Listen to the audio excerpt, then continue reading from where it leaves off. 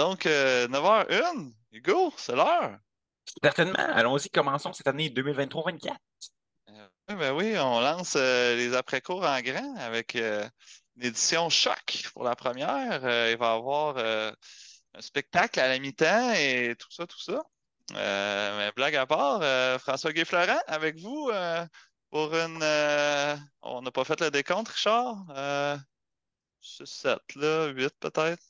Une sixième année avec vous, euh, ça me fait plaisir. Et avec. Hugo Versailles, euh, deuxième année de mon côté. CP euh, au Samar dans le coin de Joliette. Bien content d'être là encore cette année. Super, super. Et moi, toujours au Récit FGA, Centre du Québec. ouais, ouais, belle, belle petite rencontre et des petits points de, de jeter l'heure du jour. Merci encore d'être là. On commençait par ça. C'est toujours le fun qu'il y du monde.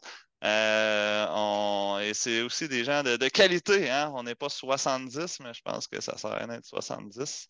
On est de noyau fort, donc euh, merci d'être là. Euh, on commençons, lançons tout de suite au point 2. Mireille n'est pas avec nous aujourd'hui. par contre, on peut lui poser des questions si vous en avez et elle ira religieusement regarder l'ordre du jour. Donc, ça y est, go. Avez-vous des questions pour Mireille? D'un coup? Jamais. Oui, Christian? Quand va-t-on avoir les nouvelles versions d'épreuves? Hmm. Richard trouve ça drôle. Moi, moi je ris pas. Euh, question pertinente. Donc, Hugo, euh, j'imagine que tu prends ça en note. D'accord. Est-ce qu'il y a d'autres questions pour euh, Madame Paris, qui est de retour en poste? pas mal la préoccupation centrale. d'accord, d'accord. Euh, sinon, j'avais. Euh, on peut traiter. Euh, on peut traiter quand même tout de suite le point. tiens, balance à fléau vs balance numérique. Je ne sais pas qui avait ajouté ça. Philippe, oui, je te laisse la parole. Euh, je ne savais pas trop à qui poser la question, mais c'est des enseignants qui sont arrivés en, me posant la question. Puis l'histoire, c'est qu'on a beaucoup de balance à fléau dans le laboratoire. Puis là, ben, euh, en fait, on se disait, ben, OK, c'est le fun d'avoir la balance à fléau, mais est-ce qu'on pourrait pas passer aux balances numériques? Puis euh, là, ben, là, mes enseignants ont dit non, non, non, c'est important la balance à fléau parce que c'est ça qu'il faut enseigner, puis tout ça. Je dis OK. Mais bon, moi, dans mon, mon sens, je pense qu'on pourrait montrer une balance à fléau euh, aux élèves. Puis bon, voici. Maintenant que vous avez vu, là, on va utiliser ce qu'on utilise pour vrai, c'est-à-dire une balance numérique. Fait que là, il y avait comme une mésentente. Euh, fait que je voulais savoir votre opinion euh, sur le sujet. Qu'est-ce que vous en pensez? balance à fléau ou balance numérique? voilà. C'était ma question. Une question lancée, on dirait. On commence, on commence ça cette année. Tu sais, c'est pas un gros débat. On y va mollo. Christian. À mes yeux, la balance, euh, enseigner la, coûte que coûte la balance à fléau, c'est un peu euh, parce qu'on l'a toujours fait. Mais en même temps, il faut penser que plus tard, euh, s'ils continuent un cheminement en sciences, ce n'est pas vraiment un appareil qu'ils vont utiliser. Je pense que c'est en retrait à beaucoup d'endroits, à moins que à moins que je me trompe. Comme juste chez le médecin, on dirait, hein, qui continue avec son. C'est la seule place dans ma vie que je vois ça encore. Alors, je me demande si ce n'est pas une relique du passé, mais euh, pas, que l'exercice ne serait-ce que pour l'utilisation, puis pour les euh, euh, voyons, l'évaluation de l'incertitude, c'est pas mauvais, je pense, mais d'y coller coûte que coûte, je pense que c'est très discutable vu que l'objet est de moins en moins utilisé. Il y a Sabin dans le chat qui dit que c'est pour décorer la balance à fléau. À fléau. C'est sûr qu'on mal jeter ça, c'est sûr, mais euh, donc, euh, décoration. Martin? En fait, euh, l'intervention de Christian, je pense qu'il est à point. Là, on le fait parce qu'on le fait, parce que tout ce qui est prévu dans, les, dans le programme au niveau des techniques, c'est utiliser des instruments de mesure, des balances, des instruments de mesure de volume. Il y en a qui vont choisir de montrer dans les SCG des fioles jaugées. Euh, puis ça, ça reste, je pense, un peu éditorial. mettons, nous autres, on a eu des discussions là-dessus, puis on a fait fiole jaugé, SCG, non. On va attendre en SCT, puis on va y aller progressivement avec des outils plus. de mesure. Fait que, je pense que c'est des choix un peu éditoriaux tant qu'on utilise des techniques avec des instruments de mesure de science. La balance à fléau, ça va arriver qu'on va l'utiliser si on a plusieurs élèves en même temps, puis qu'on a deux balances numériques utilisées, mettons, en examen. Puis là, des élèves qui sont au labo, ils veulent faire leur labo, ben là, on va sortir la balance à fléau, mais sinon, c'est- il n'y a rien de prescriptif là-dedans.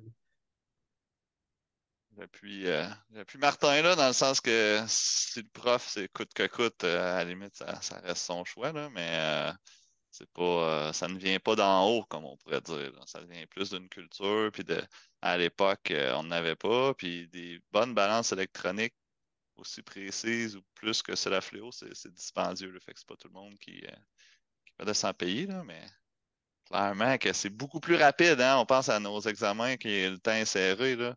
Euh, ne mettra pas à jouer avec la balance. Ben, tu peux, là, mais sauf du temps si tu avec la balance numérique.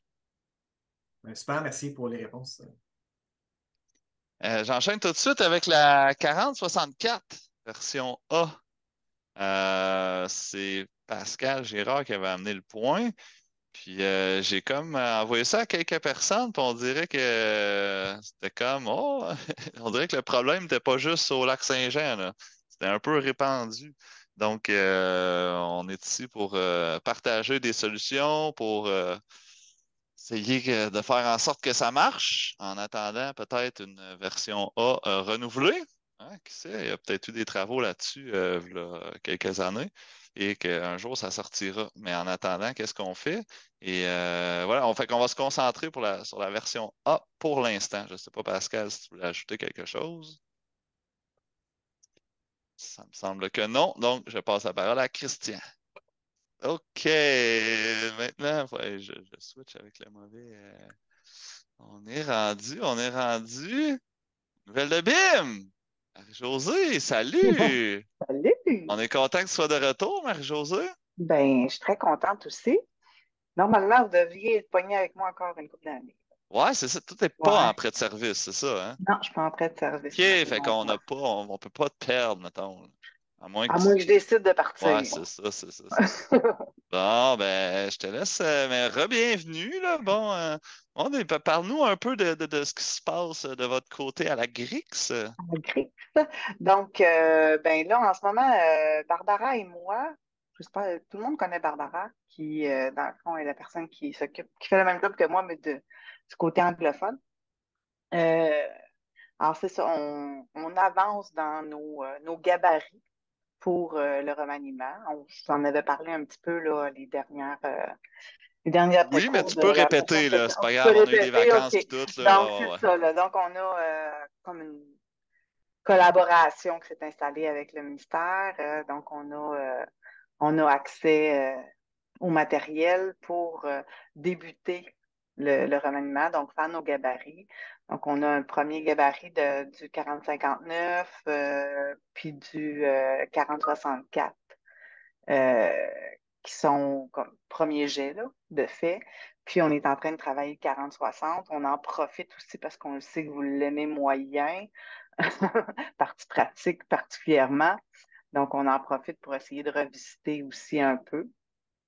Donc, quand on va avoir le go, euh, on va pouvoir passer aux validations avec, euh, avec des gens. On va avoir évidemment besoin de, de vous quand on va être rendu là pour, euh, pour valider les modifications avant qu'elles soient disponibles.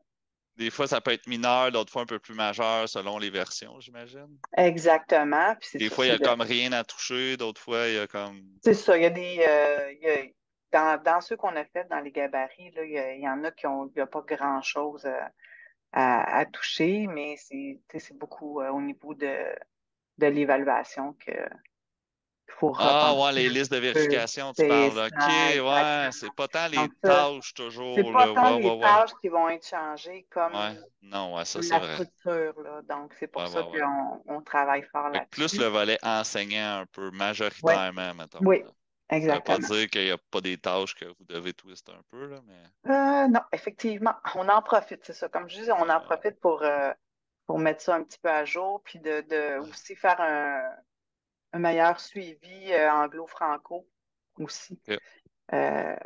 Donc, essayer de faire un petit suivi là-dedans. Pour, les versions n'étaient pas pires, mais des fois de, de, de, de, de, mettre sur le même pied d'égalité les versions. exactement, exactement. Selon les commentaires euh, que tu avais reçus et tout. Ouais.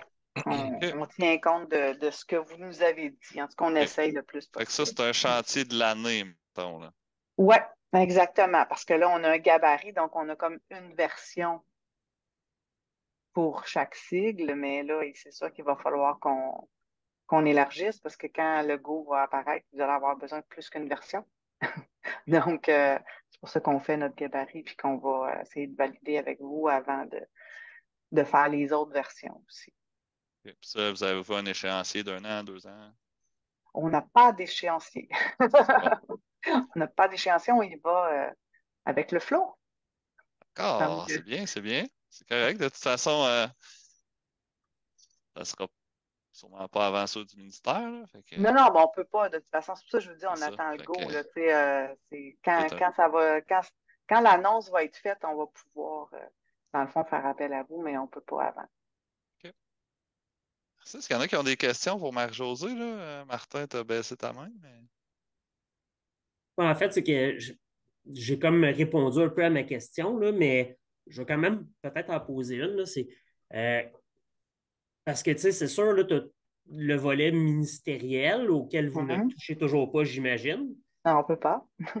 Mais euh, euh, sinon, c'est ça pour les, pour les autres, parce que là, le ministère ne fait plus de prototypes pour les cours euh, maison. là. Il y avait eu une info-sanction là-dessus, je pense, Mhm. l'année dernière. Donc, c'est, vous avez quoi un, un- Avez-vous comme un, je dirais pas, les, un chèque en blanc à partir du programme de la DDE pour construire quelque chose ou ils proposent un modèle? Parce que là, tu sais, vous parlez d'un gabarit ou. euh, Ben, le, le prototype du 4064 dans l'infosanction, il est maintenu. Fait que celui-là, celui-là est maintenu, puis c'est après ça qu'ils en feront plus d'autres. OK. Donc, euh, Je pense on- pour. Euh, tu me corrigeras, Marc-José, mais c'est le gabarit, il provient des nouvelles DDE. Oui, oui, oui, des nouvelles.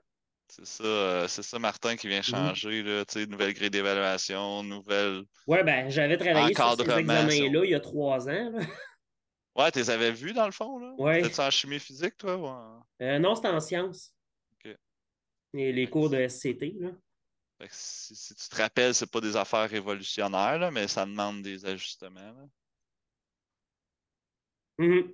Effectivement.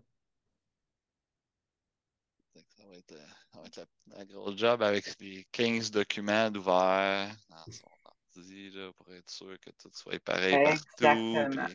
puis- Mais ouais, je comprends le fait de faire un gabarit. Après, tu vas juste lancer tes trucs. euh, Exactement. Mais tu sais, en, ça. faisant le gabarit, c'est sûr que on, on fait les modifications dans le fond. Notre, notre version A ou B dans Ouais. le CT devient notre gabarit. Puis après Ouais. ça, ça va aller. ton modèle, mettons. Exactement. Ok, ok. Non, mais c'est quand même, euh, c'est quand même une bonne job, là. Que- quelques journées euh, bien, bien investies. Excellent. Est-ce qu'il y en a que, avant qu'on aille à la 4064C, est-ce qu'il y en a qui ont d'autres questions pour euh, Marie-Josée? On va parler de bio après aussi. OK. Oui, parce que j'ai- ça fait partie de mes points dont je veux parler. La 4064C. Hmm. Je J'avais peux-tu un- euh, je peux-tu profiter de quelque chose? Vas-y, vas-y. Euh, tu sais, quand que ça ne fonctionne pas comme ça, là, puis que ça vous porte à pas utiliser, là, vous pouvez aussi faire des rétros, hein. Je vous rappelle ça de même, là. Moi, ça ne me dérange pas de modifier les, les versions si ça ne fonctionne pas puis que ça fait que vous ne les utilisez pas. C'est pas ça le but. Fin de ma parenthèse. je vais t'avouer, nous autres, à deux élèves par année, euh, c'est Ouais. pas. euh, moins qu'on prépare d'examen, plus qu'on est heureux, là, parce qu'on n'a pas de tech. Mais euh, j'avoue que c'est toujours bien de faire des rétros, clairement. On a l'impression d'y donner de l'ouvrage, mais dans le fond, il en fait sauver. C'est ça ça. qu'il faut, penser. On n'en avait pas beaucoup d'élèves non plus, mais depuis euh, deux ans, là, euh, avec le pont est vraiment recherché, puis on a beaucoup d'élèves du secteur jeune qui font en même temps, c'est 43 puis 40, euh, 63, 64, puis là, on, on a juste, on roule juste à une forme d'examen, fait que c'est pas, Ah, c'est pas, pas l'idéal. Je comprends. Ben, je pense qu'avec ça, Pascal, euh, vous allez pouvoir. Euh, tu sais, il faut quand même faire les tests, là, dans le sens que. On va faire non, des ben, on- expérimentations. C'est ça, c'est ça, mais euh, je pense que. Excellent. Est-ce qu'il y a d'autres interventions? Ouais, ben, je suis en train de me poser la question, qu'est-ce que vous faites avec les, les élèves qui ont des problèmes de, de distinction des couleurs, disons, les daltoniens? Bonne question. Nous, on n'en a jamais eu, mais euh, il y en a qui en ont déjà eu. Oui, Martin? En fait, euh, si ça arrive, l'élève peut demander au, si un technicien ou la personne qui supervise, tu sais, c'est pas d'y donner une réponse. C'est de dire, là, je suis pas capable de comparer les couleurs, j'ai un problème. Toi, avec tes yeux, tu peux-tu me dire quelle couleur correspond à ça? De toute façon, on n'est pas évalué sur le résultat comme tel. Fait que c'est pas. euh, Mais on peut demander un autre paire de yeux. euh, c'est ce que je faisais au secteur, euh, quand j'enseignais au secteur jeune, puis on avait des labos comme ça. Euh, Ça arrivait, parce que là, il y a plus d'élèves. qu'il y en avait qui avaient des problèmes de vision, puis admettons, il le demandait soit à moi ou soit à un autre élève, puis l'élève disait Ah, c'est cette couleur-là qui correspond. Effectivement. Merci, Martin. De la même façon, si on a un élève amputé d'un bras, ben, va- notre bras va servir à son deuxième bras, chose de même. Super, super. Euh, bio? Marie-Josée, qu'est-ce qui se passe en bio? Il se passe quoi? Il, Hey, il se passe, Hugo, euh, hey, Hugo, il s'en frotte les mains, là. Euh, j'ai eu une rencontre avec l'équipe de Matane qui avait levé la main pour faire euh, une première épreuve du premier cycle, du premier cycle, du 50-70. Euh, puis là, euh, ils ont eu des problèmes à leur centre de service euh, de, de- personnel, hein, comme partout, je pense. Alors, euh, ils ont mis sur la glace pour le mois de septembre, mais les deux personnes étaient vraiment très intéressées, euh, la CP et la prof. Donc, euh, on se revoit le 5 octobre pour euh, savoir si la coordonnatrice donne euh, le feu vert pour le début des travaux. Si c'est le cas, ce que je souhaite, euh, on devrait commencer le premier cycle, mais c'est sûr que ça va me prendre une équipe pour le deuxième cycle. Alors, je lance euh, l'appel à tous pour, euh, ça serait comme après, évidemment, ça serait plus pour l'hiver. Ça serait après janvier parce que je peux difficilement mener les deux de front, surtout avec une équipe à ma table. Donc, il va falloir que ça soit comme si ça se fait, là, si ça se commence euh, en octobre, ça va être le, le 50-70 avant Noël, puis j'essaierai de faire le 50-71 après. C'est là qu'on en est. Mais le projet n'est pas sur la glace, le projet est toujours vivant. Merveilleux. On, me dit à l'oreille qu'Ariane va vérifier aussi avec euh, son enseignante, là, si si si elle est intéressée. Oui, c'est exactement ça. Je viens de, je viens de le noter. Je vais vérifier ça. On dirait que j'ai lu dans ton regard, mais euh, euh, Ariane, c'est celle qui avait travaillé sur la traduction. là. Mhm. Je ne sais pas Ouais. s'il y en a qui les ont utilisés, là, mais euh, qui sont disponibles à FGA. Tant des prétests, Euh, Philippe? Donc, euh, je- je- je pense avoir déjà posé la question, mais je la répète encore parce que ça. Moi, je suis biologiste de formation, hein, c'est sûr que moi, les cours de bio, je trouve ça vraiment génial, puis j'aimerais vraiment, vraiment ça pouvoir les donner. Mais euh, de façon administrative, nous, on a quand même un assez gros centre, malgré tout, ce que j'entends par rapport euh, aux autres. Puis, de façon technique, de façon administrative, les cours de bio, on, on les démontre, on les fera pas parce qu'il n'y a aucun élève qui va les prendre étant donné que pour avoir les crédits de secondaire 5, il faut que l'élève ait fait les cours de sciences avant, c'est des crédits optionnels, puis là, ben, tant qu'à avoir cinq cours à faire avant de se rendre au cours de bio, ben là, c'est aussi bien qu'il fasse un seul cours d'informatique, ce qui fait que le cours ne sera jamais proposé. Ma question, mais je, comme je dis, je crois l'avoir déjà posée, mais je la répète, euh, est-ce qu'il y en a qui sont capables de donner ces cours-là? Puis si oui, comment vous procédez? Qu'est-ce que vous faites euh, pour pouvoir les donner? Parce que j'aimerais vraiment ça, pouvoir les développer, mais c'est ça, la décision ici a été qu'on ne les développera pas parce qu'on ne les donnera pas. Peut-être qu'Ariane, qui les a déjà donnés, pourrait expliquer pourquoi ont été donnés, dans quel contexte à Drummondville, Ariane. Ouais, c'est sûr que, tu sais, nous, euh, c'est pas, c'est sûr que c'est pas une demande euh, immense. On l'a donné il y a un an et demi à peu près.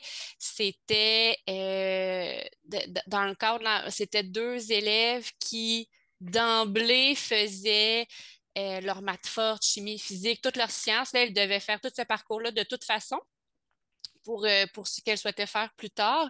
Puis, euh, il restait là, des unités optionnelles qu'elle pouvait aller chercher.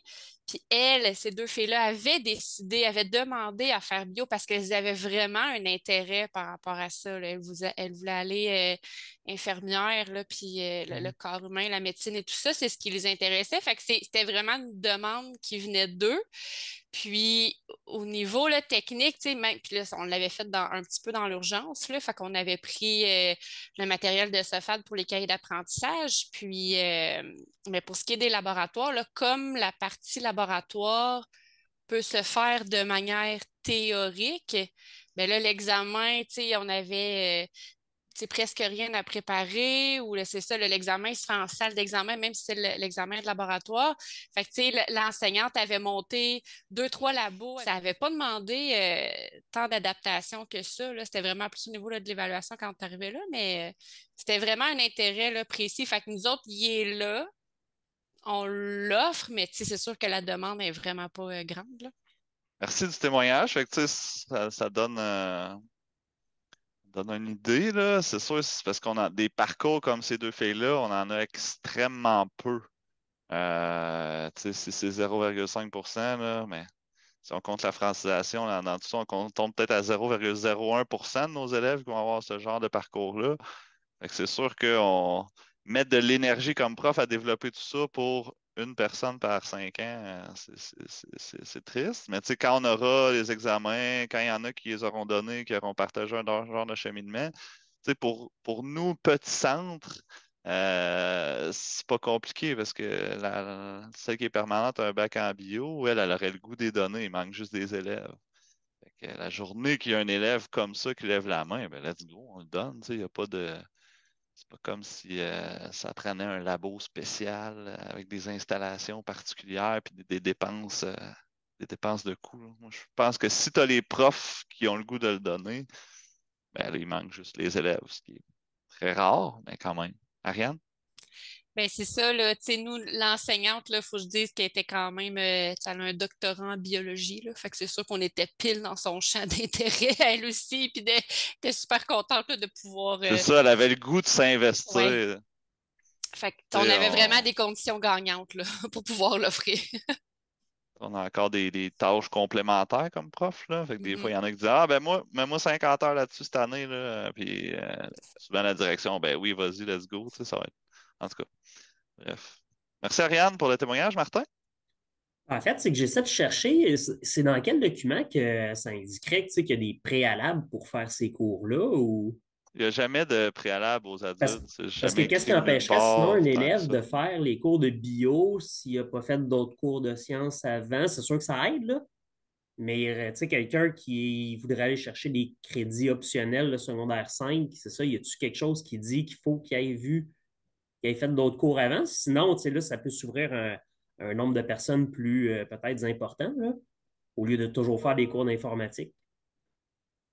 En fait, si je peux euh, répondre, là, euh, je sais qu'à la base, mettons, Doris à l'époque, quand elle travaillait sur les examens prototypes de bio, elle, son, son mindset, c'était au même niveau que chimie physique. On l'a vu avec. Il y en a qui ont validé en bio, là, des examens prototypes, genre 2018-19, là, puis c'était comme, ouh, tu fais le saut un peu. Puis moi, mes profs, quand Ariane a amené euh, les examens chez nous à Pédago Régional l'année passée, là, euh, tu sais, ma prof de maths, elle s'était assise avec ma, ma prof qui a un bac en bio.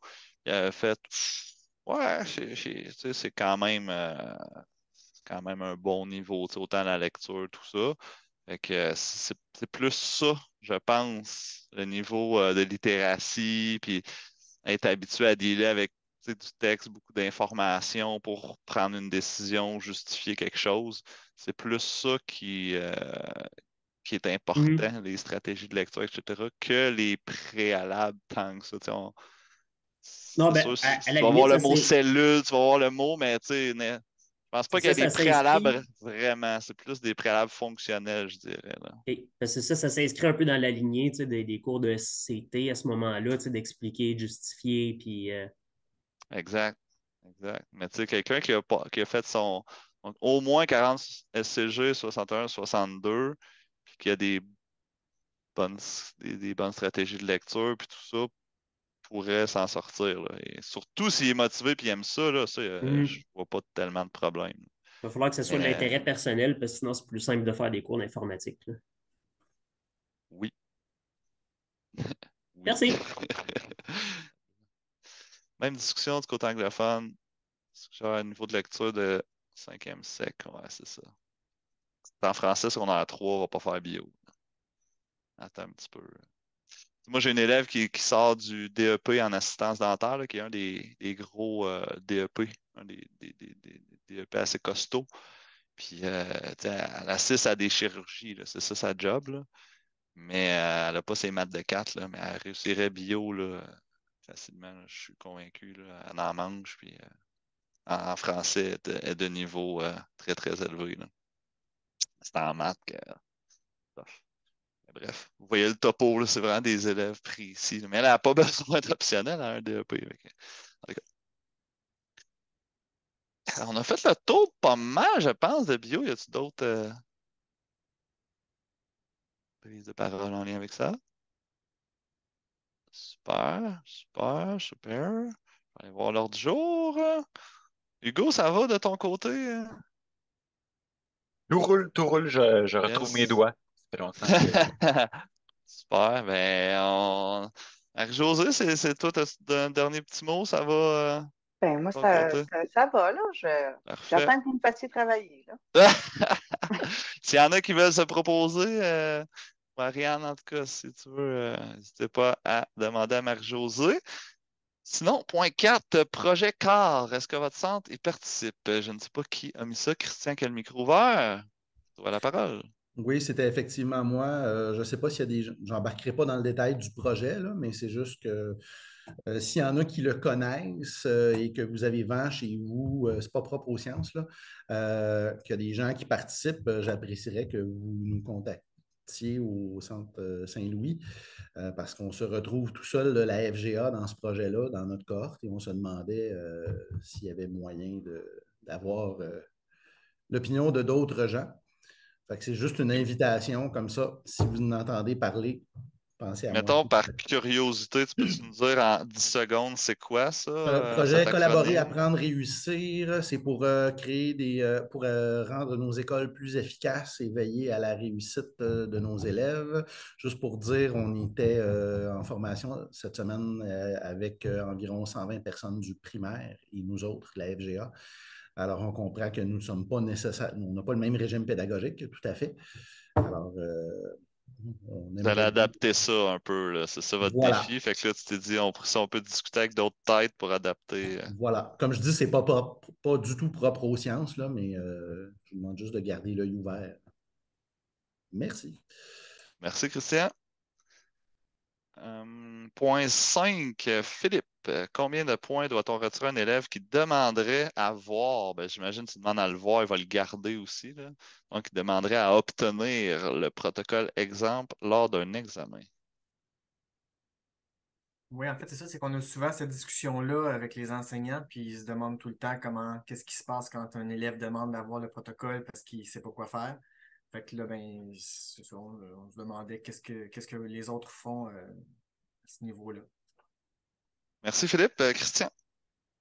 Euh, nous, ce qu'on a fait, je ne sais pas s'il y en a qui connaissent le schéma décisionnel qui avait été développé. Euh, est-ce que c'est toi, François, qui avait développé ça ou c'est Guy? Pas moi, personnellement, nécessairement. OK. je peux en parler ouvertement. OK. qui est un schéma qui avait été développé. Je crois que ça va venir avec les nouvelles épreuves ministérielles en SCT. Tu peux me corriger si je me trompe, François. Mais en tout cas, c'est un schéma qui euh, guide, qui balise quelque peu les interventions. Puis euh, nous, on s'est entendu, là, la technicienne et moi, sur comment on fonctionnait. Puis euh, quelqu'un qui demande à voir le protocole, on est à un maximum de 1 sur 5. Ça, c'est ce qu'on fait chez nous. Il peut y avoir des cas d'exception on verra à la pièce, là, mais d'emblée, on s'est entendu sur ça. Là. je te relance, Christian, le 1 sur 5 au lieu du 0, tu le donnerais pour? Ben, on n'a pas eu de cas encore. Euh, ben, en fait, le- le je pense que le zéro, c'est s'il n'y a vraiment rien de fait ou on n'est pas du tout, du tout dans, dans la direction qu'on souhaite. Tandis que le 1, on verrait si on a un potentiel puis on voit que l'élève s'en va dans une direction qui serait pertinente. Bon, OK. Euh, mais on s'entend qu'il y aurait eu des interventions au préalable. nous autres, selon la structure qu'on a établie. Euh, d'emblée, ça serait ça. On va attendre d'en avoir réellement parce que des, des protocoles donnés, je peux vous dire que j'en ai pas eu beaucoup là, dans les années précédentes. là. La majorité du temps, les gens s'essayent. Euh, comme je dis, on pourrait se rendre à un, puis je pourrais ouvrir la porte à deux si on avait vraiment un cas particulier. là. Mais comme je dis, nous autres, il y aurait eu des interventions préalables. On, a vraiment, on s'est vraiment donné une structure aidée de ce schéma-là. Les interventions sont basées sur le schéma décisionnel? Exact. C'est-tu moyen d'avoir cette- une copie de ce document-là? Je pourrais vous en trouver. Oui, je vais, je vais le chercher. Puis euh, je sais que je l'ai en fichier. Je vais le mettre dans la, dans la discussion. Merci. Je me trompe pas, on l'avait caché dans le prétexte chambre branchée 4061.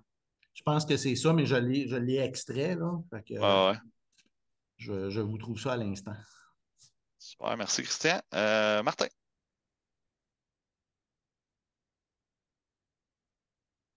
Il me semble qu'il y avait eu des discussions là-dessus il y a quoi, peut-être euh, un peu plus qu'un an.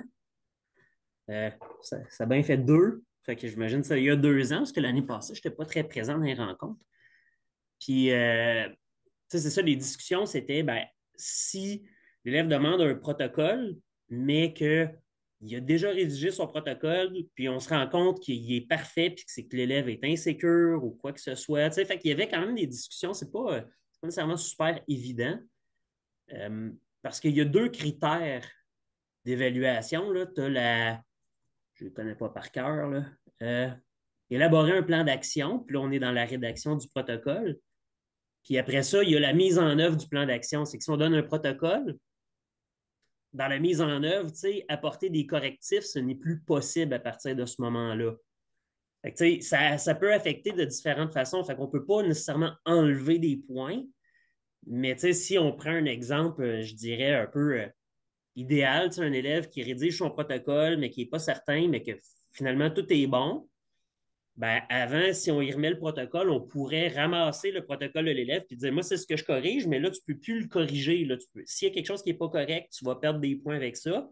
Mais ouais, avec le protocole que je te propose, je vais être capable de voir si tu es capable de réaliser, de mettre en œuvre ton plan d'action. Parce que si ton protocole est complètement non fonctionnel, ça devient dur de voir une mise en œuvre. L'élève pourrait le mettre en œuvre, se corriger, mais avec le temps limité dans les épreuves, ça ajoute au facteur stress. On s'entend que la plupart de nos élèves, ben, le rôle de l'enseignant, euh, c'est de s'assurer que l'élève est prêt à l'en examen avant de l'autoriser. Euh, habituellement, il y a assez d'observations chez les enseignants pour dire ben oui, l'élève devrait être capable de réaliser son examen de laboratoire. Fait que c'est pas euh, super évident. On ne peut pas enlever des points. Dans les critères d'évaluation, c'est sûr qu'on peut dire ben non, c'est pas excellent, c'est pas. Fait que à ce moment-là, on positionnerait l'élève à un, un autre niveau. Conséquemment, il perdrait des points, mais je ne sais pas si c'est clair ou. Ben, C'est ça que le schéma décisionnel essaye de baliser, tu sais, pour pas que ça soit Mhm. euh, si c'est Martin ou Ariane ou Philippe, ça va être complètement différent. là. Puis si je me trompe pas, Christian, selon le schéma, c'est pas plus que euh, très faible. là. Donc pas plus que 2 sur 10 ou 1 sur 5. Là. Euh, Même dans le cas où l'élève aurait rédigé son protocole qui serait Ben- complet puis que finalement il serait parfait? Dans les réflexions qu'on a eues, c'est pour éviter les dérives que tu dis justement. L'élève, systématiquement, il rédige un protocole, il sait qu'il est bon, mais il va quand même demander celui qui est bon. Comme ça, il va avoir ses points d'un bord, il va avoir ses points de l'autre bord, puis il va vivre euh, de façon sécure, disons. Là. En mathématiques, on ne peut pas faire ça comme essayer quelque chose, puis avoir des points pareils, etc. là. Fait que c'est.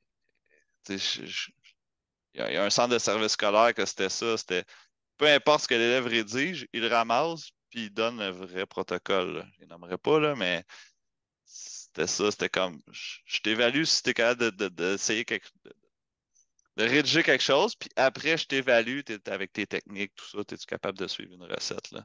Fait que c'est pas, euh, c'est pas tout à fait l'esprit de, là. Fait que c'était pour ça, là, mais ça veut pas dire que c'est la panacée non plus, là. Mais euh, on, essaie que nos élèves soient sécures, dans le fond, avec leur, leur, protocole. C'est difficile d'avoir la même lecture, la, même interprétation de ce que c'est. Si on y va critère par critère ou si on y va dans l'ensemble de la compétence. C'est ça, c'est ça. Tu es, supposé de mettre en œuvre ton propre protocole, puis après ça, tu es supposé de, revenir le modifier aux besoins, etc. Tu as soulevé des, points intéressants.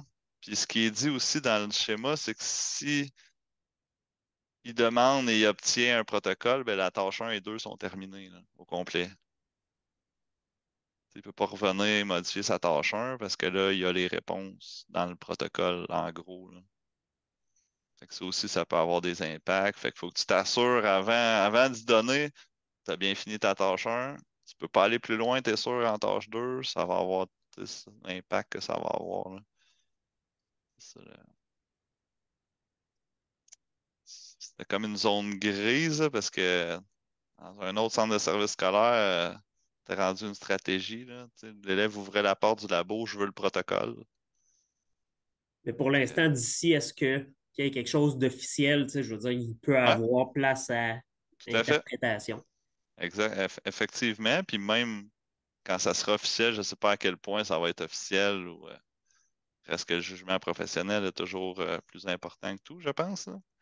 Mais euh, le but du schéma, c'était d'offrir un cadre où ce qu'il n'y en a pas, mais si vous si en équipe vous vous entendez sur un cadre qui est super fonctionnel, je ne vois pas en quoi il serait pas bon. On va essayer, nous, de, de, regarder le, schéma décisionnel, puis on va voir comment est-ce qu'on peut l'utiliser en labo. Merci pour la réponse. Puis en regardant ça, c'est que tu te questionnes aussi, c'est quoi nos examens de lab? Là? Parce qu'on l'a dit tantôt, le résultat, c'est pas tant ça qu'on regarde. À part peut-être en électricité, c'est sûr qu'on veut que ça marche. Mais euh, sinon, euh, en labo, c'est pas tant le résultat comme tel. D'autres interventions? Sur euh, la question du protocole? Non, on irait au point 6. Euh, euh, suivez au sondage UQTR mois de juin. C'est moi qui ai amené ce point-là. Probablement que certains d'entre vous, beaucoup d'entre vous, avaient répondu à un sondage. C'était juste pour faire un suivi. Merci beaucoup d'avoir répondu. J'ai eu plus de 70 réponses qui donnent une allure, euh, une tendance très forte sur euh, certaines choses. Et euh, dont, entre autres, ben, je, m'excuse, je mets en contexte, l'UQTA développe actuellement une formation, une genre de formation continue qui sera offerte aux enseignants en sciences de la FGA, enseignants ou CP.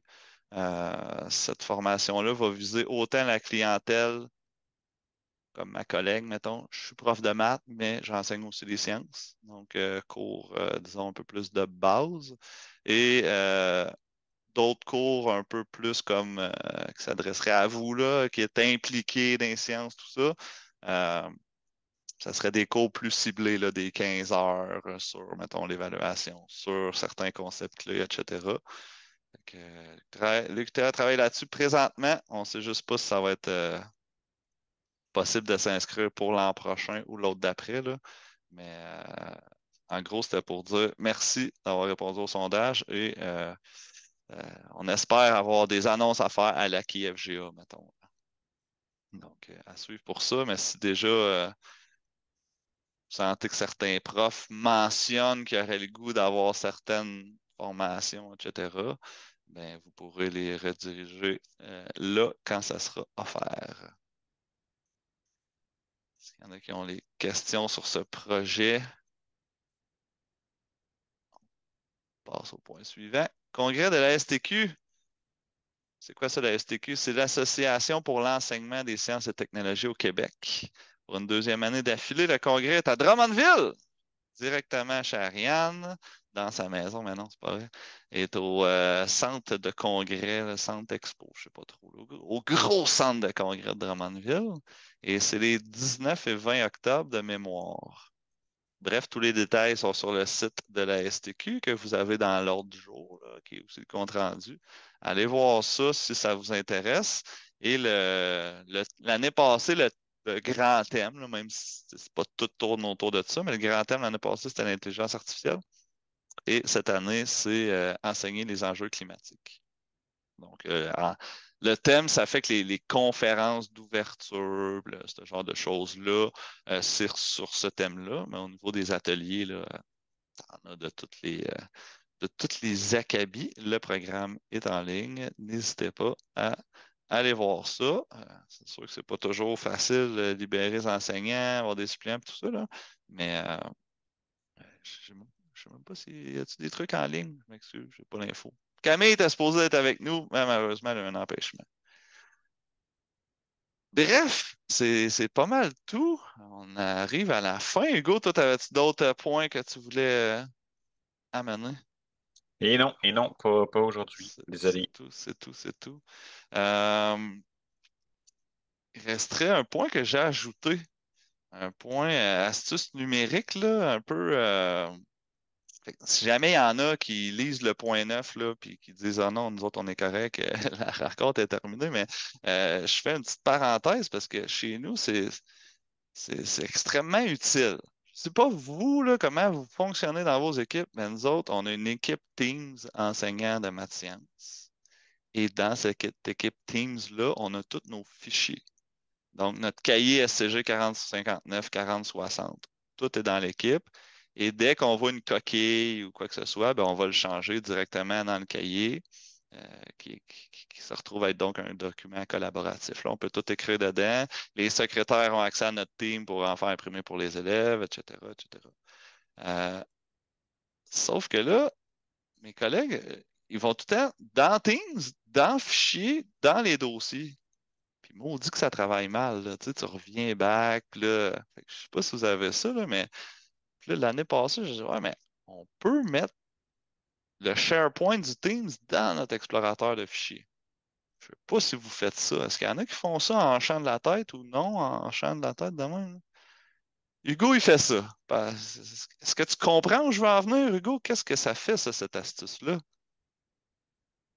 Ça fait qu'on ah. sauve pas mal de temps. En tout cas, de mon côté, moi, je travaille que, avec la synchronisation. tout le temps là-dedans. Là. Fait tout le temps. Voulez-vous voir de quoi ça a l'air? OK, OK, OK. Là, euh, faites attention, ça va peut-être changer vos vies. Euh, le lien pour le. Tu sais, ça prend à peu près une minute et demie, là, synchroniser. Ça, allez voir, c'est tout expliqué. Il euh, faut aller dans le SharePoint du site de l'équipe Teams. si vous êtes patient, je pourrais le faire aussi. Ouvrez mon explorateur de fichiers. J'espère qu'il n'y a pas trop de niaiseries. Là. Et je ne sais pas si vous voyez à gauche ici, vous voyez, j'imagine, hein? Donc, j'ai le OneDrive de mon CSS. Et ici, j'ai mes équipes Teams. Donc, si je clique sur Enseignant maths sciences, je vais dans SCG, j'ai mes cahiers ici. Je n'ai pas besoin d'aller ouvrir Teams puis d'aller ouvrir ici. Fait que si je veux le copier-coller, je fais CTRL-C puis je vais le mettre ici, paf, CTRL-V. Donc, on se retrouve à travailler, si on veut, euh, de façon euh, comme avant, là, mais c'est juste que la navigation entre les dossiers, euh, le fait de pouvoir copier-coller, le fait de pouvoir supprimer juste en pesant sur sup, ça sauve beaucoup de clics et beaucoup de pas d'attente, mais ça navigue pas super bien dans Teams. Oui, Martin. En fait, euh, ben, peut-être que Richard peut. Parce que j'ai déjà entendu l'explication du pourquoi, mais chez nous, à notre centre de service, ce n'est pas possible. les TI veulent comme.